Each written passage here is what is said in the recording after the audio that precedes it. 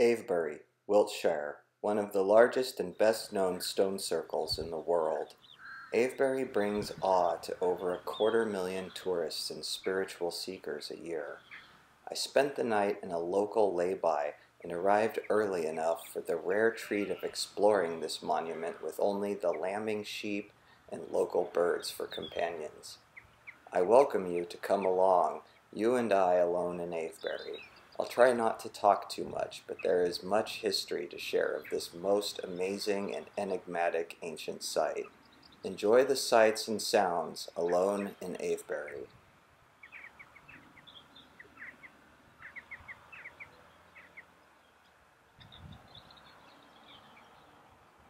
The rows of stones here are noticeably paired, one unshaped and flat-topped opposed by a peaked lozenge-shaped stone.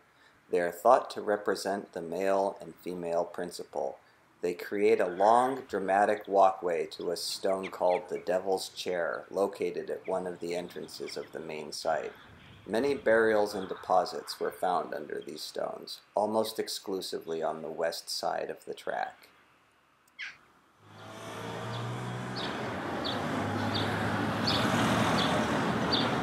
Many concrete pillars on the site are all that remain of some of the stones. Throughout the centuries, particularly the 17th, the stones were destroyed in the name of piety and reused in construction, such as in this chapel, which stands within the site and is still used by locals today.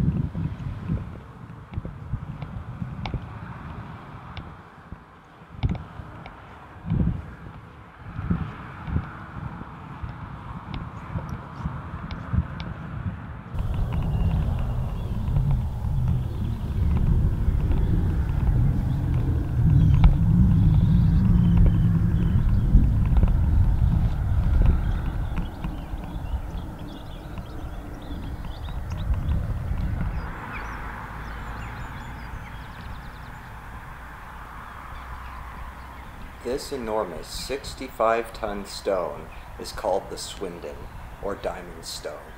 Situated next to the road that crosses Avebury, it is said to cross the road at midnight, presumably looking for its even larger partner, destroyed and removed centuries ago.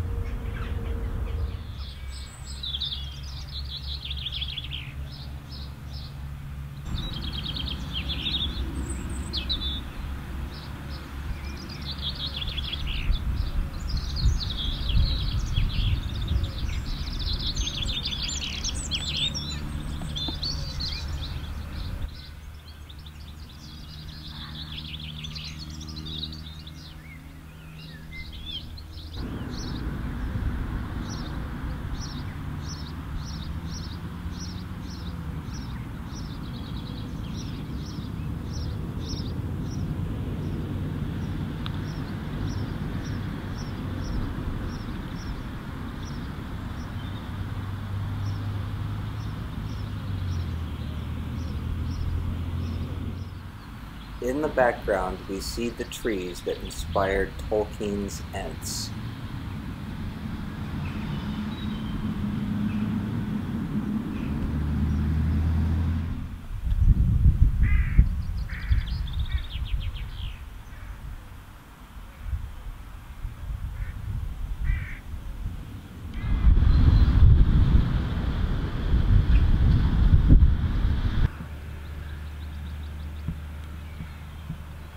This stone, recognized by the so-called gunsight top, revealed skull and rib fragments buried at its base.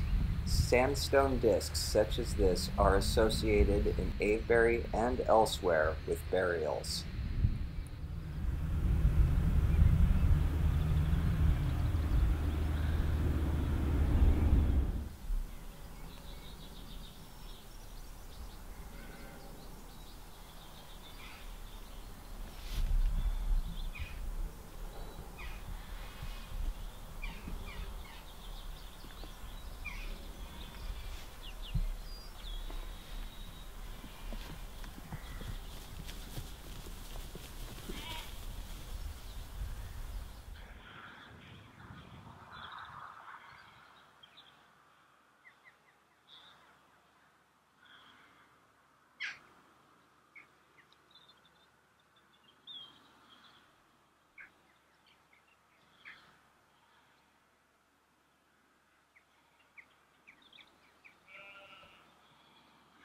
Somewhat out of the way and hard to find is this stone. Now used as a playground for lambs, it is said to have been used to lay on by women wishing pregnancy.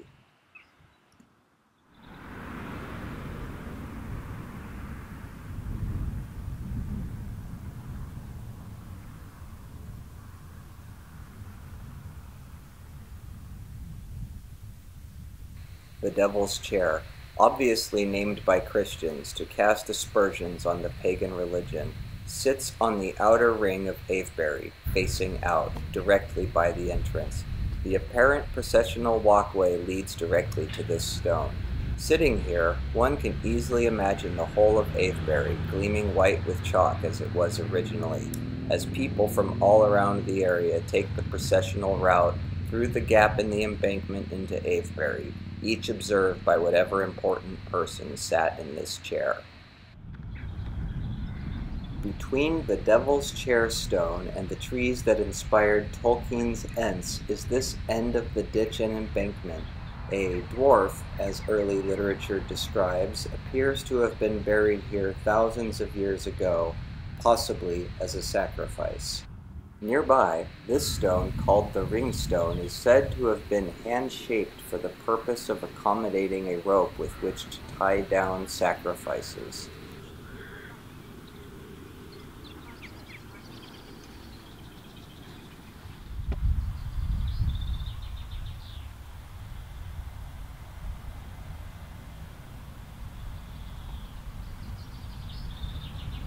A testament to the ill luck of those who knock over the stones, the Barber Surgeon Stone has an incredible story to tell. In the year 1307, a barber and surgeon was convinced to finish the work of others and knock over this stone. Things went badly, and he was killed and buried instantly as the stone fell on top of him. It appears that nobody attempted to retrieve the body until the 1930s. They found coins dating 1307 and surgical tools on his body. The body was transferred to the Royal College of Surgeons shortly after discovery, where it was destroyed entirely in World War II. Thank you for joining me on this tour of Avebury. I hope you've enjoyed the video. If you did, please consider subscribing. It really helps make the channel possible. Stay tuned for the West Kennet Long Barrow, a stunning burial chamber located near Avebury in which I found quite a surprise. Thanks for watching.